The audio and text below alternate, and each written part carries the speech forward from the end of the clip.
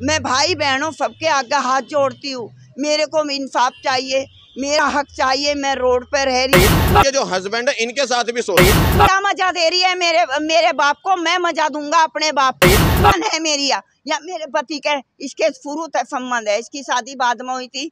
मेरी सोतन की पहले हुई थी इसके बाद में इनने संबंध कर लिया इसका पिछवाड़ा बहुत भारी है। जय हिंद जय भारत। और आप देख रहे हैं मेरे साथ सीसीएन न्यूज़ 24 चैनल।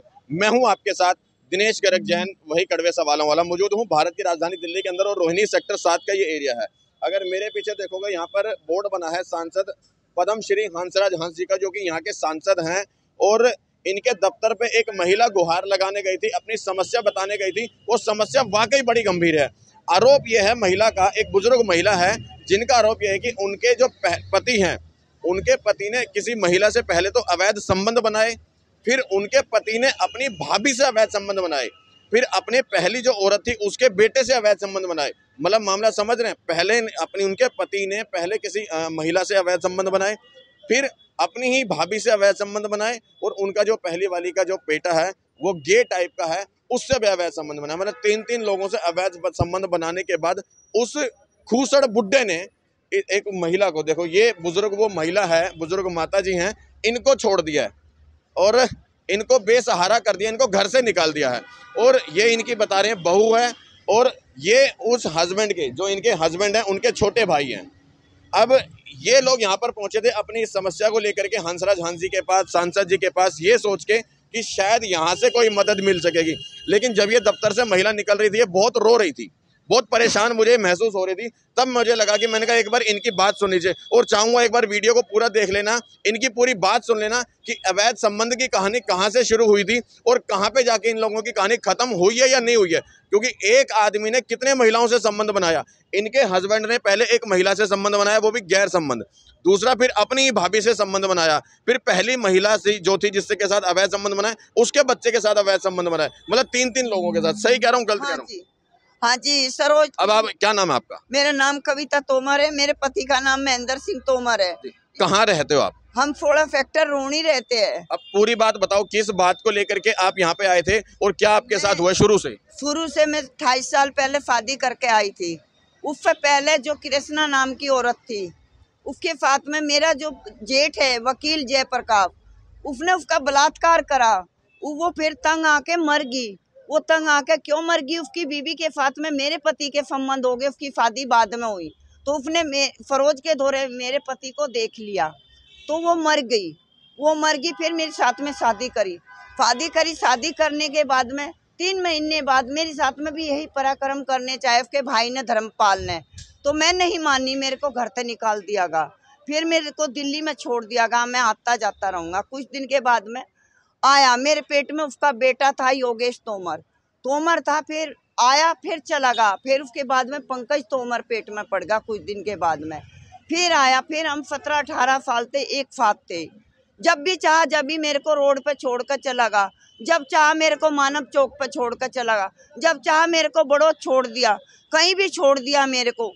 मतलब इतनी औरतों के साथ में उसके संबंध है। अब मैं बता नहीं सकती, फ़ोटो भी रखी हुई है एयरपोर्ट पर राजीव गांधी में नौकरी करी। वहाँ पे भी गैर औरतों के जो नौकरी के लिए आई मजबूर औरत, उनके साथ में भी उनने गैर संबंध बनाए, नौकरी लगवाई या नहीं लगवाई, वे महिलाएँ रोती चली गई। एक राजकुमार नाम का आदमी था, इन्होंने मिलकर दोनों ने उस औरत को पाँच हज़ार रुपये दिए, उसके साथ में गलत काम किया। इन्होंने जब फिर अपनी अपनी दबाने के लिए, ताकि हमारे पोल पट्टी ना खुल जाए, यू एयरपोर्ट था लिटार होगा लिटार होगा वो फंड भी, इसने पता नहीं कहाँ दिया, कहानी, दो लाख रुपए इसने, लोन लिया उसमें स्टेट बैंक थे पेंशन पे। वो भी इसने जो सुधीर कुमारी है, उसको भगा के लेकर आया कहाँ थे लिया, कहाँ थे नहीं। कहते हैं, मेरे लड़के की बहू है। जब इसका लड़का पकड़ा गया, एक लाख रुपए का इनाम मी, अजीत अपू तो मेरे को बोला कहने के तुम चलो, अजीत ने शादी कर ली, उसके दो बच्चे हैं। मैं फिर भी माफूम बच्चों पे रहम करके लुआ लाई। लुआ लाई, कमरा लुआ दिया, भागी रात को। रात को भागी कमरा ले लिया, वहाँ पे फादरे में पीछे पीछे यूँ चला गया। इसने अपना लड़का अठारह लाख रुपए लगा कर शीलू छुटाया। अजय कहने लगा, मेरा लड़का बंद है। वो छुटा दिया, मेरे ना का कोई पैसा नहीं है। फिर उसके पास चला गया। फिर वहाँ पे इनके लड़ाई झगड़े, थाने में पकड़ा गया। आज के लड़के के पास में हथियार पकड़े गए। शीलू, अजय के अमरजीत भी पकड़ा गया आज का भतीजा। फिर मेरे पास में आकर जी जाने लगा। फिर मैं ले आई। धनी राम के मकान में रखी। मैं ईश्वर के मकान में रह रही हूँ धनी राम के मकान में। मका तू वहाँ क्या कर रहा है? मेरे लड़के की बहू है। संबंध इसके वहाँ पे भी गलत थे। वे आके बोले, तुम्हारा पति है या इसका पति? मका पति मेरा है। कह रही, खाली करवा दो, तुम्हारे पति के गलत संबंध है। उसके बाद में फिर फादरे चले गए। उसके बाद में फिर मेरे पास में आए। फिर मैंने दे, बादली गाँव में पंकज का मकान दुआ। वहाँ पे भी इनके गैर संबंध ये लड़ाई झगड़े। फिर मेरे पास में आए पाँच छः महीने मेरे पास में रहे। जयप्रकाश का फ़ोन आया। कहने लगा, तू क्या वहाँ, मैं क्या बोलूँ? मैं भाई बहनों सबके आगे हाथ जोड़ती हूँ। मेरे को इंसाफ चाहिए, मेरा हक चाहिए, मैं रोड पर रह रही हूँ। मेरे पास में कोई साधन नहीं है। उसका भाई हैंडीकैप है काड़ू नाम। काड़ू की कुल्ली भी टूट चुकी है। कहता है, वो मरानी के थाने में, जो भाई भाई को नहीं देख सकता। तो मुझे क्या देखेगा? मैं तो दूसरे की जाई हूँ। पर मेरे को इंसाफ चाहिए। मैं अठाईस साल पहले शादी करके आई। मैं भाग कर नहीं आई। जो सुधीर कुमारी को रख रहा है, वो बदमाश डाकू, वो मफूर है। उसको उसको सब जानते हैं उसने। पहले सुनील मुझ के साथ में संबंध करे, विनोद बावड़ा के साथ में संबंध करे, उन्हें प्रमोद राठी मरवाया, फिर अजीत के मेरे पति के साथ में संबंध, अजीत अजीत के साथ में संबंध, अजीत एक लाख रुपए का, अप्पू अजीत बावली गाँव, बागपत बड़ो जेल में है बरेली, कहता है इसकी बीबी है, वो मेरे पति की बीबी है, हमने सबने वो नंगे, बिल्कुल कपड़े भी नहीं थे, हमने पकड़ी वो भला जयप्रकाश को क्या लालच है मेरे पति से, जो मेरे पति की भाग भाग का कोड़ी भरता है, फ़ोन करके कहता है, क्या करा? जयप्रकाश क्या करता है जो अपनी बीबी के साथ में फरोज के? जो अपनी बीबी को मेरे पति के साथ में फुला रहा है वो?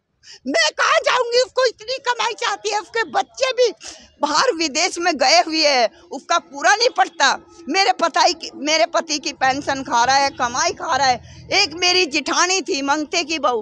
बीस साल पहले गोली तमारी, उसकी ज़मीन हड़प ली इन्होंने। उसके बाद में मेरी दीदी, मेरी शोकन थी नाड़े की कृष्णा वो तेल छिड़क कर मर गई जड़ के। पन्नू की बहू जेठ के लड़के की, वो तेल पी कर मर गई। यहाँ पर उत्तम नगर में, सुल्तान की बीवी, इसके भाई की बीवी। वो भी कैंसर होकर मर गई, लात मारते थे, मुक्के मारते थे। जोते गाँव ते चूड़ी भगा कर लाए थे। वो भी नहीं रहने दी। तो और तू तो संबंध करते हैं उनको मारते हैं, कहता है, मेरे को छोटी छोटी लड़कियाँ चाहिए। जिन माताओं को हम पूजते हैं तो कैसा पति है वो, है? महेंद्र सिंह तोमर, है? अरे, कहीं का तोमर है। अपने लड़के के साथ में गलत संबंध बना रखे है उसने। कहता है, मेरा लड़का तो मैं कहाँ जाऊँ जब इसके इतनी औरतें इतने किन्नर थे तो मैं कहाँ जाऊँ? मैं अच्छा ये करूँ? ये- बताओ आ, जो आपके पति हैं उन्होंने आपके जो पहली उनके साथ जिनके साथ जो आपकी सोतन कहूँ सीधी हाँ। बात में आपकी जो सोतन है उसके लड़के के साथ भी संबंध है? हाँ उसके सीलू के साथ में जो मेरी सोतन थी कहता है मेरा लड़का। इसका लड़का कोई भी नहीं लड़का है अजीत काड़ू का है। एक बार उसकी फ़ोटो दिखाओ जो जिसके साथ उसके संबंध है। ये रे। क्या नाम है इनका? अजय शीलू। ठीक है। अब देखो मैं आपको थोड़ा सा बता दूँ इनका ये कहना है कि ये जो अजय शीलू नाम के जो तस्वीर मैं आपको दिखा रहा हूँ कि ये ये गे है लड़का। और इनके जो हस्बैंड है इनके साथ भी सोते हैं। इस लड़के ने क्या बोला था आपको कि मैं कैसे कहता, कहता था तू क्या मज़ा दे रही है मेरे मेरे बाप को? मैं मज़ा दूँगा अपने बाप को। तू क्या देखती है? तू तो बुढ़ी ठेरी है। तू तो बुढ़ी होगी मैं तो जुआन हूँ। ये बोला था। ये बोला इस लड़के ने। और जबकि ये खुद गे है, मैं बता दूँ आपको इस महिला ने इनका जो कहना है, इन माता जी का जो कहना है कि ये लड़का है, जो अपने ही पिताजी को कहता है कि मैं आपको खुश करूँगा कि मेरी माँ क्या खुश करेगी आपको, यही कह रहा है। हाँ मेरे को बॉडी पता नहीं, इतनी गंदी मैं बता नहीं सकती, सर, सॉरी। सबको माताओं, बहनों, सॉरी। इनकी गाड़ी में बता नहीं सकती, मेरे को इतनी गंदी गंदी गाड़ियाँ देता था। इन्होंने आखिरी में फ़ोन नंबर, जब मैंने फ़ोन नंबर कॉल करके इनके नंबर दिए, इन्होंने नंबर बदल दिए। यू भी जेल में रहा पाँच साल। यू बदमाश है। यू फला देता है अजीत को। उसने मानस मारे। क्या कहा करे गांग, उसमें गांगड़ोली में राजिंदर सरोज मारी। उसके बाद में इन्होंने वहाँ पे उसका, गाजियाबाद का, उसका डीआईजी का ड्राइवर मारा। उसके बाद में मोहल्लू की पट्टी में मारा। फिर जोते, ये झोटा नुआता है सतपाल के दो लड़के मारे गाँव में। अब एक यू है जेल में बरेली। मानस मारते हैं धमकी देते हैं डराते हैं हमारे को भी डराया सर। ये बताओ अब जब आप यहाँ पे सांसद जी के पास आए तो इन्होंने क्या मतलब ये, ये, ये कौन है? ये ये फ़ोटो ये, ये मेरी ये ये इसकी भाभी है। मेरी मैं तो जिठानी नहीं कहूँगी। फोतन है मेरी या, या मेरे पति के इसके शुरू तक संबंध है। इसकी शादी बाद में हुई थी। मेरी फोतन की पहले हुई थी इसके बाद में इनने संबंध कर लिए। ये मेरे पति की रखेल है। अब एक बार अपने हस्बैंड की फ़ोटो भी दिखा दो। ये इसको रख, ये इसको रखता है। ये मेरा पति है। ये इसको रखता है। कहता है मेरी भाभी। भाभी नहीं है इसकी रखेल है कहता है इसका पिछवाड़ा बहुत भारी है। अला। अ, मैं बता दूँ आपको देखो हमने आपने इनकी पूरी बात सुनी। ये इनके छोटे भाई हैं। आपके बड़े भाई के ऊपर आरोप लगा रही हैं। ये सही कह रही हैं गलत कह रही हैं? बिल्कुल सही कह रही है ये। हैं बिल्कुल सही कह रही है। अ, क्या बताओगे कैसे हैं आपके बड़े भाई? सीआरपी से रिटायर हैं वो। हाँ। और बहुत ही गलत है। जहाँ रहा वो इतने इसका लड़का जेल में रहा इतने अपना मतलब निकाला उसने। और जब उसका लड़का छूट का आ गया कुछ दिन के बाद में फिर भाग गया। मतलब उनके अनेक महिलाओं के साथ हैं अवैध संबंध? हाँ बिल्कुल है। अ, बता दूँ आपको इस तरफ़ इनकी अगर देखोगे ये महिला इनकी बहू रानी है यहाँ पे ये ये भी पहुँची हैं। क्या नाम है आपका? मेरा भावना तो अच्छा भावना जी ये बताओ जो आपकी सासू माँ आरोप लगा रही है अपने हस्बैंड के ऊपर या आपके ससुर जी के ऊपर वो बिल्कुल सही है गलत है? हाँ हम लोगों के सामने जो हमने देखा हुआ है वही बता रहे हैं हम। आपके साथ भी कभी करने की कोशिश करी? नहीं मेरे साथ में नहीं किए मेरी शादी करके पर मैं परेशान हो गई हूँ, बहुत ज़्यादा तंग हो चुकी इस खानदान से क्योंकि मेरी शादी उसने कराई थी जो आज मैं भी बहुत ज़्यादा दुखी हूँ कि मेरे को समझ नहीं आता कि मैं कहाँ जाऊँ बच्ची को लेके। छोटी सी बच्ची। अभी आप यहाँ पर अपनी गुहार लेके आए सांसद महोदय जी के पास क्या कहा सर जी मैं हार्ट की बीमार हूँ। जब यू मेरे को छोड़ के गया तो मैं टेंशन में हार्ट की बीमार होगी। इसने मेरे गलत संबंध भी बनाने चाहे लोगों से पर मैं संभल गई। मतलब आपको और लोगों से संबंध हाँ जी संबंध बनाने चाहे कहा है औरतें कमा के खा रही है तू भी खा सकती है। यूँ पता नहीं मेरे को कहाँ कहाँ लेकर गया इनने गलत संबंध बनाए मेरे को बवाना लेकर एक बूढ़े के दौरा गया। इनने वहाँ से पचास हज़ार रुपये लिए वो बूढ़ा मर गया। मेरे को दिखाया। दिखाया मतलब मैं बच गई अपनी इज़्ज़त बचा ली। उसको कह के कह रहे दोबारा लेकर आऊँगा पर तो पचास हज़ार रुपये न उठाए। मतलब अब यहाँ पे क्या रहा? यहाँ पे क्या रहा? देखो मेरे को सर हंसराज जी ने मेरे को वादा किया है आश्वासन दिया है मैं तुम्हारी सुनाई करूँगा। मेरे पति को थाने में बुला जाए कैन काट दूँ। एक बार बता दो मैं औरत हूँ मेरे में कमी क्या है? मैं इससे बीस साल छोटी हूँ इसकी सत्तर साल उम्र मेरी पचास। मेरे में कमी क्या है? इसने जो मेरी साथ में ऐसे किया। जब इसकी बीबी मर गई थी, इसके संबंध फरोजते थे, वकील की लुगाई थे तो इनने मेरे से शादी क्यों करी? हाँ सर, अट्ठाईस साल पहले जब मेरी शादी हुई, इसने मेरा कपड़ा, लत्ता, सब सब अपनी भाभी को दे दिया निकाल के। मेरी किस तोड़े सोना लेकर आई थी मैं? अपने घर से छब्बीस तोड़े चांदी लाई थी, इसने सब उड़ा दिया, सब दे दिया इनने। अपनी कमाई भी इसने इनको, चप्पल पहर पहर के मेरे जेठ को इनने वकालत कराई है। तो मेरे जेठ को वकील को इस तरह लालच है मेरे पति की दौलत हड़पना चाहता है। हमारे को फूकी देखना नहीं चाहता है अपनी बीबी से। अपनी बीबी को इनने पता नहीं किस किस को रखवाता है।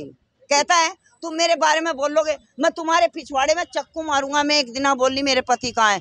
मैं खुल कर तो कह नहीं सकती कह रहा तेरे तो चक्कू मरवाने पड़ेंगे।